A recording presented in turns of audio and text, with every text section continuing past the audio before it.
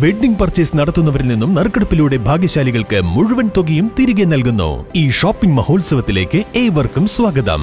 Emmanuel silks M space shopping centre Mele Pattambi. Choorakode കരിങ്കൽ കോറിക്ക് വ്യാജ sketch നിർമ്മിച്ചു നൽകിയ വല്ലപ്പുഴ വില്ലേജ് ഓഫീസർക്കെതിരെ നടപടി എടുക്കണമെന്നാവശ്യപ്പെട്ട് കോറി വിരുദ്ധ സമിതി താലൂക്ക് ഓഫീസിലേക്ക് മാർച്ച് അഞ്ചിന് പ്രതിഷേധ മാർച്ച് സംഘടിപ്പിക്കുമെന്ന് ഭാരവാഹികൾ വാർത്താ സമ്മേളനത്തിൽ അറിയിച്ചു.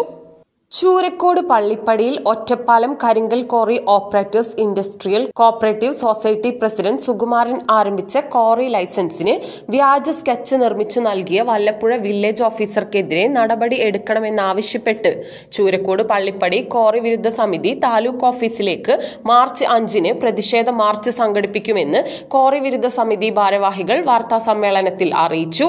ജനവാസ മേഖലയിൽ കോറി പ്രവർത്തനം തുടങ്ങിയിട്ടുള്ളത് സ്കെച്ചിലില്ലാത്ത സ്വകാര്യ വ്യക്തികളുടെ സ്ഥലത്തിലൂടെ പുതിയ വഴി നിർമ്മിച്ചാണ്. സമരസമിതി വിവരാവകാശ നിയമപ്രകാരം നൽകിയ മറുപടിയിലൂടെ സ്കെച്ച് ലഭിച്ചതോടെയാണ് ഉദ്യോഗസ്ഥരും കോറി മാഫിയകളും തമ്മിലുള്ള അവിശുദ്ധ ബന്ധം പുറത്തറിയുന്നത്. കോറിയുടെ നിലവിലെ പ്രവർത്തനം മൂലം പരിസരത്തുള്ള പന്ത്രണ്ടിലധികം വീടുകൾക്ക് സാരമായ വിള്ളലുകൾ ഉണ്ടായിട്ടുണ്ട്. കൂടാതെ ജനങ്ങളുടെ സ്വൈര്യ ജീവിതത്തിന് വലിയ പ്രയാസങ്ങൾ സൃഷ്ടിക്കുകയും ചെയ്യുന്നുണ്ട്.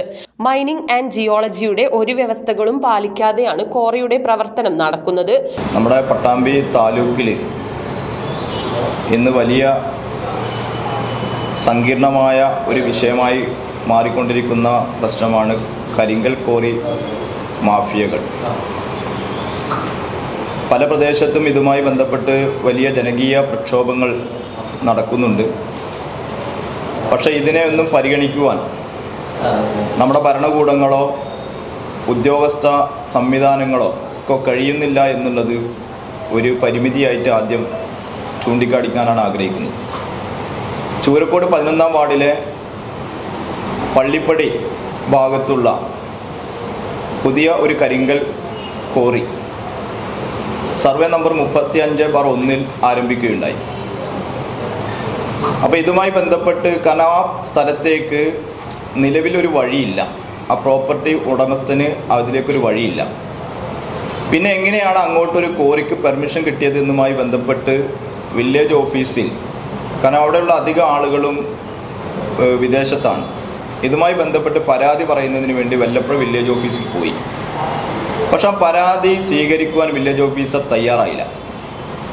അങ്ങനെ നമ്മളുമായൊക്കെ ബന്ധപ്പെട്ടപ്പോൾ ഈ പരാതി പട്ടാമ്പി തഹസിൽദാർക്ക് കൊടുക്കാൻ വേണ്ടി പറഞ്ഞപ്പോൾ തഹസിൽദാറിന്റെ അടുത്ത് പോയി. അദ്ദേഹം ഒരു നോട്ട് എഴുതി കൊടുത്തു. ഇവരുടെ പരാതി സ്വീകരിച്ച് വേണ്ട നടപടികൾ സ്വീകരിക്കണമെന്ന്. അതിനുശേഷമാണ് വല്ലപ്പുഴ വില്ലേജ് ഓഫീസർ പരാതി സ്വീകരിക്കാൻ പോലും സന്നദ്ധനായത്.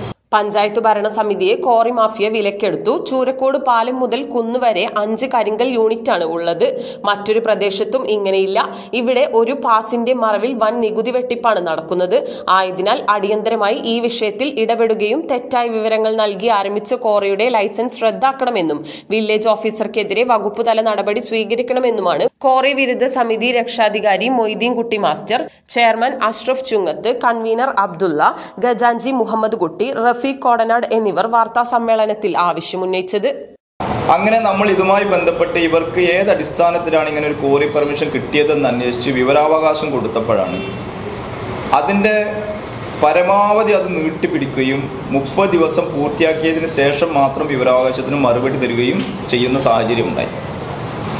അങ്ങനെ കിട്ടിയ സ്കെച്ച് പരിശോധിച്ചപ്പോൾ അതിൽ മുപ്പത്തെട്ട് എന്ന് പറയുന്ന ഒരു സർവേ നമ്പറിലൂടെ ഒരു നാല് വീടുകളാണ് ആ സർവേ നമ്പർ പ്രോപ്പർട്ടിയിലുള്ളത്. ഒരു മതിൽക്കെട്ടിനുള്ളിലാണത്.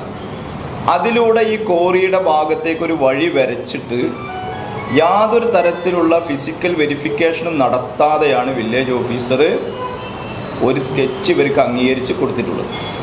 ലക്ഷങ്ങൾ വാങ്ങിയിട്ടാണ് ഇത് ചെയ്തിട്ടുള്ളത് എന്നുള്ള തികഞ്ഞ ബോധ്യം ഞങ്ങൾക്കുണ്ട് അങ്ങനെ സ്വാഭാവികമായും ഇതുമായി ഈ ഒരു രേഖ കാരണം നമുക്കറിയാം ഒരു കോറി പെർമിഷന്റെ ഏറ്റവും ആദ്യത്തെ രേഖ എന്ന് പറയുന്നത് സ്കെച്ചാണ്. ഈ സ്കെച്ച് തന്നെ വ്യാജമായി ഉണ്ടാക്കിയതാണ്. വല്ലപ്പുഴ വില്ലേജ് ഓഫീസർ പ്രസാദ് എന്ന് പറയുന്ന വ്യക്തി അദ്ദേഹം തന്നെ അവിടെ ചെന്ന സ്ത്രീകളോട് പറഞ്ഞത് ഇരുപത്തിമൂന്നാമത്തെ ഓഫീസാണ് ഇത്. നിങ്ങൾ ലക്ഷങ്ങൾ തരികയാണെങ്കിൽ എവിടേക്കും ഞാൻ സ്കെച്ച് വരച്ച് തരും എന്ന രീതിയിൽ അവരെ വളരെ മോശമായ രീതിയിൽ സ്ത്രീകളോട് പോലും സംസാരിച്ച വ്യക്തിത്വമാണ്.